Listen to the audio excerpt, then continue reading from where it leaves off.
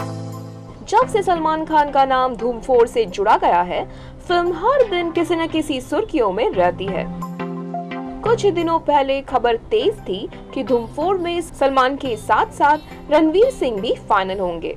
बहरहाल, अभी तक कास्ट को लेकर आधिकारिक घोषणा नहीं की गई है। अफवाहों की माने तो सलमान धूम फोर से तो जुड़ने वाले हैं, लेकिन इससे पहले उन्होंने फ़िल्म के निर्माताओं के सामने एक शर्त रखा है।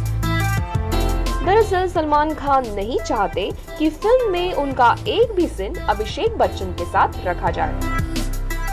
अब या तो सलमान फ़िल्म में रहेंगे या अभिषेक। ज़ाहिर है, फ़िल्म के निर्माता इस शर्त से काफ़ी परेशान है। फ़िल्म में दोनों हीरो को रखा जाए, फिर भी ऐसी स्क्रिप्ट लिखना जहाँ दोनों आमने सामने ना आए, यह काफ़ी मुश्किल है। आखिर अभिषेक धूम फ्रेंचाइजी का अहम हिस्सा रहे हैं और उनके बिना फ़िल्म अधूरी है। वही निर्माता धूम फोर में सलमान को भी बाहर नहीं करना चाहते। देखना दिलचस्प होगा कि धूम फोर की कास्ट क्या फाइनल होती है।